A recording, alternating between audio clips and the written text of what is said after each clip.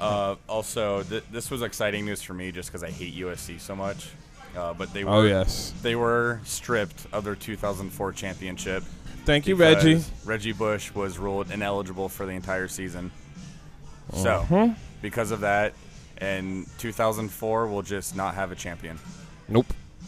Well, you can't give it to the team that they beat because they completely annihilated them. I mean, they smashed Oklahoma.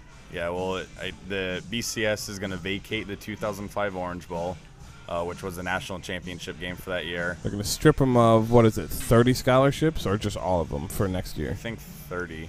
Right.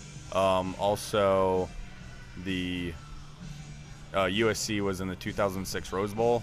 Uh, that's the game they lost to Texas.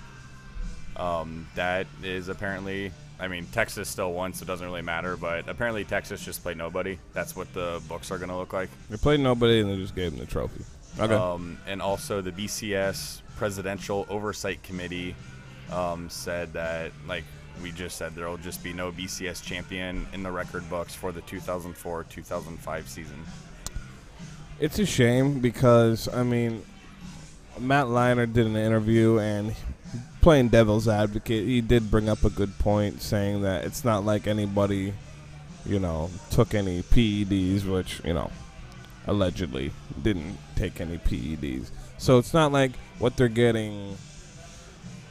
What they're getting consequences for had anything to do with cheating during a game. It's just dude and his family got set up in a balling house. Yeah, well, and, and I mean, along those same lines, what, again, I don't like USC, so it doesn't matter to me. Nope.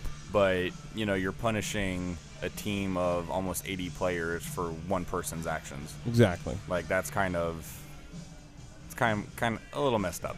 Yeah, I'd say so. A little messed up. And then not only that are players from the past getting punished, but people in the present are getting punished for something that happened seven years ago because now next year they won't be able to play in a bowl game. 30 scholarships gone. And, uh, you know, the two main culprits in the whole situation, Reggie Bush and Pete Carroll, are nowhere to be found. They Yeah. don't. They don't care. Pete Carroll dipped. Oh, I mean, he knew the hammer was coming down, and he bounced. Went off to Seattle, and uh, I did pretty good in the playoffs last year, actually. So, You know, that team's still horse crap. oh yeah.